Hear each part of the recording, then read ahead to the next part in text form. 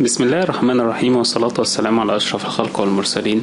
النهاردة إن شاء الله حابب أتكلم معكم عن الموازين المستخدمة في أعمال الشبكات والبنية التحتية وكيفية معايرتها واختبارها. أول ميزان معانا النهاردة إن شاء الله ميزان الخيط. ميزان الخيط يتكون من عصفورة ميزان الخيط والخيط وتقل ميزان الخيط ويستخدم في ضبط رأسية العناصر الإنشائية.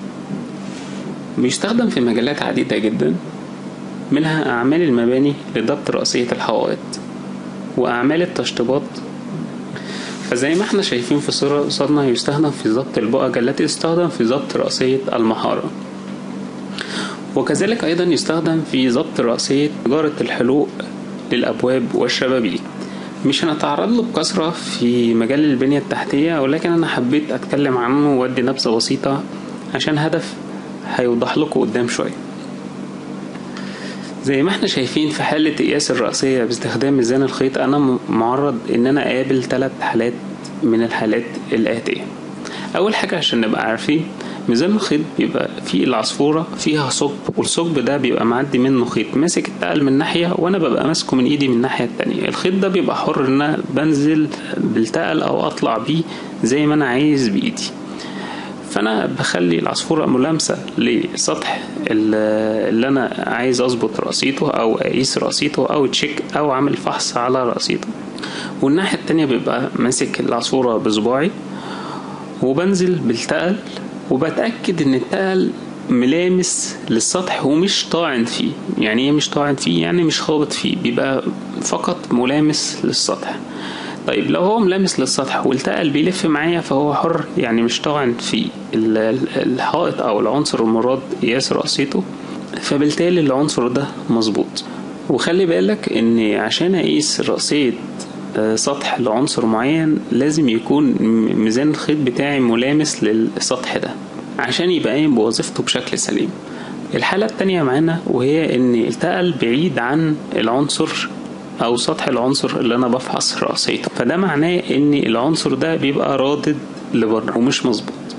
الحالة الأخيرة بيبقى التقل بتاعي طاعن في العنصر اللي أنا بقيس رأسيته. وفي الحالة دي معناه إن العنصر رادد لجوه. طيب أنا كمهندس بنية تحتية هقابل ميزان الخيط إمتى؟ هنقابله في الحالة دي. وخلوا بالكم إن أنا قلت لكم انه لازم يكون ميزان الخيط ملامس لسطح العنصر اللي أنا عايز أشوف رأسيته مظبوطة ولا لأ. ولو مش ملامس ليه يبقى كده هو مش بيقوم بوظيفته بشكل سليم. يعني إيه مش بيقوم بوظيفته بشكل سليم؟ وهو الهدف اني إن أنا بقيس الرأسية عن طريق أشوف التقل ده ملامس للسطح وطاع ولا طاعن فيه ولا بعيد عنه. في حالات أنا ما بقدرش أخلي ميزان الخيط ملامس للسطح مباشرة. زي الحالة اللي قصادنا دي دي نجارة غرفة وأنا زي ما إحنا شايفين مش هعرف أحط العصفورة بتاعتي تبقى ملامسة لسطح النجارة لأن في عندي عروق تقوية هتمنع إن الخيط يبقى حر أو إن التقل يبقى حر. طيب في الحالة دي بعمل إيه؟ بختار إنه ميزان الخيط يشتغل معايا كأنه بلبل. لو أنتوا عارفين البلابل بتبقى عبارة عن خيوط متمسمرة في أركان الأوضة ومتعلق فيها طوبة زي التقل بالظبط. طيب أحيانا بيجي النجار بيقول لي أنا مش معلق البلابل دي بس أنا هستخدم لك يا باشمهندس ميزان الخيط. فعشان كده أنا حبيت أتكلم عن إيه هو ميزان الخيط. في الحالة دي النجار هيروح حاطط لي العصفورة على أي عنصر من عناصر الأوضة بحيث إن هو يحقق لي الشرط إن الخيط يبقى حر ومش طاعن في الأوضة.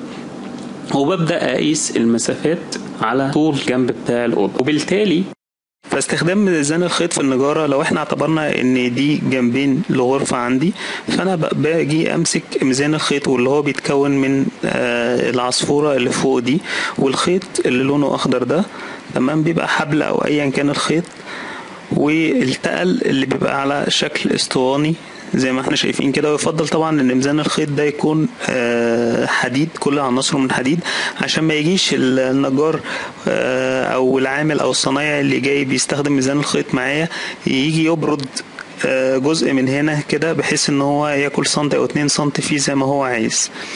فطبعا لازم يكون حديد وده يفضل ومعايرته هنعرفها في الصور قدام. فبيجي يحطه على جنب أو على أي عنصر من عناصر النجارة وليكن لوح اللطزانه ده وبيخليه حر. تمام؟ مش طاعن في أي حاجة ما يبقاش خابط في أي خشب من الخشب أو أي عنصر من عناصر النجارة اللي موجودة. وأبدأ أنا آه، واقف بالشريط طبعا أكون عينيا على إيديه بحيث إن هو تكون العصفورة دي ظاهرة قدامي مش مداريها بصابعه آه، تحسبا لأي غش. فأنا أبقى عينيا على العصفورة دي ولازم تكون ظاهرة. وأبدأ أقيس أنا بالشريط. ابدا اقيس مثلا من جنب النجارة هنا وأشد معايا كده أروح للخيط هلاقيها مثلا المسافه دي واحد وتلاتين زي ما إحنا شايفين تحت كده. وبعدين آخد نفس المسافة في نص الارتفاع هنلاقيها واحد تلاتين برضو. وبعدين آخد مسافة تاني في نهاية الارتفاع هنلاقيها واحد وتلاتين سنتي برضو. بروح واخد الخيط تاني وحطه على نص الجنب هنا وفي آخر الجنب. وبكرر نفس الخطوات بحيث إنه يديني نفس الأبعاد وبكده يبقى أنا ضمنت رأسية الغرفة بتاعتي. بعايرة ميزان الخيط. عشان أعير ميزان الخيط بجيب العصفورة والتقل وبمسك العصفورة بحطها في قعر التقل بتاعي. ولازم يكون طول العصفورة هو قطر التقل. تاني ميزان معانا النهاردة إن شاء الله هنتكلم عنه ميزان المية. ميزان المية بيستخدم في ضبط الأفقية والرأسية معا. مش كل موازين المية بيبقى فيها ضبط الرأسية والأفقية. يعني ميزان زي ده مثلا بيبقى فيه أفقية ورأسية. الفقاعة الأفقية هي المسؤولة عن ضبط الميول الأفقية والفقاعة الرأسية هي المسؤولة عن ضبط الميول الرأسية. فلو الميزان عندي فيه فقاعتين فأنا كده خلاص عارف إن هو ممكن يستخدم في ضبط الميول الأفقية وضبط الميول الرأسية. طبعا ليه استخدامات عديدة. زمايلنا بتوع التشطيبات بيستخدموه في ضبط ميول السيراميك الحمام ضبط رخامة المطبخ. إحنا كمهندسين شبكات بنحتاجه لو إحنا شغالين في السباكة الداخلية نستخدمه في ضبط ميول مواسير الحمام. زي ما إحنا شايفين دي كده آه، استخدام الميزان في ضبط الرأسية بالفقاعة الرأسية. معايرة ميزان المية. إزاي بنعاير ميزان المية؟ في اختبار ميزان المية بجيب الميزان وببدأ أحطه عندي على سطح مستوي أو أي سطح مش هتفرق معايا إن كان مستوي أو لأ. وهنعرف الكلام ده وإحنا شغالين دلوقتي لأن أنا مدي مثالين على حالتين مختلفين. الحالة الأولى لو أنا السطح عندي مستوي. أبدأ أحط الميزان عندي على السطح بتاعي. أنا هنا معلم الميزان جنب وجنب هنعرف ليه بعدين. هبدأ أحط الميزان بتاعي على السطح المستوي وهركز مع فقاعة المية تمام؟ فلاقي الفقاعة بتاعتي بقت في المنتصف. ده مش معناه إن السطح بتاعي مستوي. ليه؟ لأن ممكن أصلا الميزان يكون فيه خطأ. ولذلك بروح ماسك الميزان واجيب الجنب اللي كان على الشمال في اليمين والجنب اللي كان على اليمين في الشمال بلف الميزان زي ما بيقولوا أنا بمسكه بعمله كده إن أنا مسكت الشكل ده كده بمسكه وألفه كده. تمام؟ بس بشرط يكون في نفس المكان. وأبدأ أبص على القراية بتاعته. لو لقيتها في المنتصف يبقى أنا كده الميزان بتاعي تمام وبالفعل أنا السطح بتاعي مستوي. طيب. لو السطح بتاعي مش مستوي مش هتفرق. هي نفس الكلام. يعني نفرض إن السطح ده بتاعي مش مستوي تمام؟ وأنا حطيت الميزان بالشكل ده والفقاعة بتاعتي جت على جنب من الجناب بالشكل ده. طبعا أنا معرفش السطح بتاعي مستوي ولا مش مستوي. أنا بحط الميزان عادي وهو جاب لي القراية في الجنب ده. أنا أنا يعني كون إن أنا عامل حتة عالية هنا بس ده عشان أوضح بيها لكن هو في الأول في الآخر أنا لما بحط الميزان على أي سطح ما ببقاش عارف ده مستوى ولا مستوي أنا بخلي الميزان هو اللي يقول لي. فأنا دلوقتي بتشيك على الاواله بتاعت الميزان أو أو الإنديكيشن بتاع الميزان هل هو مظبوط ولا مش مظبوط؟ فأنا دلوقتي هعتبر إن أنا مش عارف إن السطح أصلا مايل فأنا حطيته ولقيت فعلا القراية جاية راكنة عندي وإن السطح عندي مايل بالشكل ده. طبعا اتجاه الميل بيبقى عكس اتجاه الفقاعة يعني الفقاعة راحت يمين يبقى الشكل ده مايل ناحية الشمال. طيب باخده بنفس القصة واخده وألفه عشان يبقى بالشكل ده اللي هو جنب الأحمر بقى في اليمين وجنب الأسود بقى في الشمال ولفيته وحطيته. لو جاب لي نفس المكان يبقى بالفعل السطح ده مايل وأنا عندي الميزان ده كده مظبوط. لو جابها لي إن هو بقت الفقاعة في الجزء ده فده معناه كده إن الميزان بتاعي أنا اللي مش مظبوط. ميزان القامة.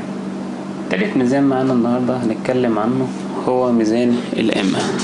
زي ما إحنا شايفين ميزان القامة بيتكون من الجهاز نفسه تمام وترايبود أو الحامل الثلاثي والقامة استخداماته عديدة جدا فهو يعتبر من أهم الأجهزة المستخدمة في الأعمال المساحية ويستخدم في ضبط المناسيب بالنسبة لزمايلنا اللي في الإنشاءات. بيستخدم في ضبط منسوب قاع الحفر منسوب التأسيس منسوب قواعد منسوب الأرضيات بالنسبة لزمايلنا في التشطيبات بيستخدم في ضبط أجعة الأسقف. بيستخدم في نقل الإشراب بدل ميزان الخرطوم. أساسي بيبقى موجود مع المعدات مع بالنسبة للإنفرا بيبقى موجود مع تركيب المواسير.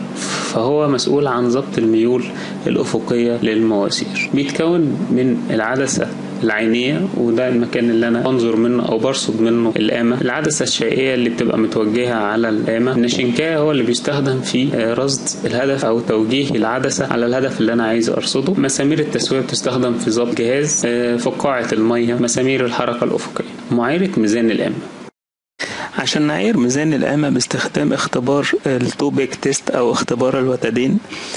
بنجيب وتدين أو سيخين وندق سيخ هنا على نقطة ما ثم نقوم بدق السيخ الآخر على بعد مسافة ولتكن على بعد خمسين متر عنه في الجهة المقابلة. وبعدين بنجيب جهاز الميزان وبنحطه في منتصف المسافة زي ما إحنا شايفين. ونبدأ ناخد قراية على النقطة أو السيخ الأولاني وبعدين ناخد قراية على السيخ التاني. بعد ما بنجيب القرايتين نبدأ نطرحهم من بعض. طيب عشان نفهم إحنا ليه عملنا كده لازم نبقى عارفين إن خط النظر في ميزان القامة اللي أنا بشاور عليه ده لازم يكون على مسافة مستقيمة مفيهوش أي ميل. طيب. لو خط النظر مايل وليكن مثلا لفوق كده بالشكل ده. طيب في الحالة دي أنا عندي قرايتين. قراية حقيقية اللي هي على الواقع اللي هي الخيوط الخطوط المايلة دي ده لو الميزان يعني فيه ميل فأنا كده عندي القراية الحقيقية وفي القراية المثالية. القراية المثالية اللي هي طبعا المفروض تكون هي دي القراية المظبوطة. فأنا هجيب القراية دي وهنفترض إن الميزان فيه عيب وخط النظر مايل زي ما إحنا شايفين كده مش أفقي. فبالتالي أنا خدت قراية على النقطة الأولانية وقراية على النقطة الثانية وهبدأ أطرحهم من بعض. فكده أنا جالي فرق القرايتين. طيب بعد كده هقوم ناقل للوضعية الثانية إيه هي الوضعية الثانية إن أنا هاخد الجهاز وهروح أقرب من نقطة من النقطتين ولتكن النقطة رقم واحد. وهقف بالميزان على مسافة تبعد حوالي عشر المسافة ما بين النقطتين أو أقل من العشر. يعني هنا عشر خمسين خمسة فإحنا هنقف مثلا على أربعة متر وهبدأ آخد قراية على النقطة الأولانية تمام؟ وهاخد قراية على النقطة التانية.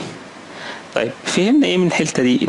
إن أنا لو جبت الفرق ما بين النقطة دي القراية دي والقراية دي وكان في ميل في خط النظر فمعنى كده إن الفرق ما بين القرايتين هيكون أكبر من الفرق ما بين القرايتين في الوضعية الأولى. تمام؟ وعشان نفهم الموضوع أكتر تعالوا معانا نبص على الصور اللي جاية فزي ما إحنا شايفين في الصورة اللي قصادنا عندنا الميزان وهو في المنتصف والميزان وهو في الوضعية الثانية على بعد عشر المسافة من إحدى النقطتين. في الحالة اللي إحنا شايفينها قصادنا دي مفيش أي خطأ في خط النظر. اللي أنا عايز اوضحه من الصورة إني أنا دلوقتي لو خدت قراية على النقطة ولتكن واحد والنقطة اتنين الفرق ما بين القرايتين هيديني الفرق ما بين الليفل ما بين النقطتين. تمام؟ فبالتالي لو خدت النظر في الوضعية الثانية مظبوط هنلاقي الفرق ما بين القرايتين هو هو نفسه الفرق ما بين القرايتين الأولانيتين ليه؟ لأن أنا زي ما أنا قلت إن القراية دي والقراية دي الفرق ما بينهم بيديني فرق ال level ما بين النقطتين وبالتالي في الوضعية الثانية فرق ما بين القرايتين التانيين هيديني برضو فرق ال level ما بين النقطتين. طيب في حالة بقى إن أنا عندي خطأ في خط النظر. فأنا لما جيت وقفت بالميزان في المنتصف ما بين القامتين فأنا كده وزعت الخطأ بالتساوي ما بين القامة الأولانية وما بين القامة التانية. فأنا لما جيت طرحت القراية الأولانية ناقص القراية التانية ده هيديني فرق حقيقي اللي موجود كأن بالظبط مفيش مشكلة في خط النظر. بمعنى إن أنا دلوقتي لما وزعت الخطأ بالتساوي فلما جيت طرحت الخطأ تلاشى بعملية الطرح. يعني اللي أقدر أفهمه إن S واحد ناقص S اتنين هي هي هتبقى S واحد dash ناقص S اتنين dash. لأن أنا في الأول وفي الآخر فرق القرايتين هيديني فرق ال level ما بين النقطتين. طيب لما أنا جيت قربت بالميزان من نقطة من النقطتين وليكن زي ما قلنا نقطة واحد.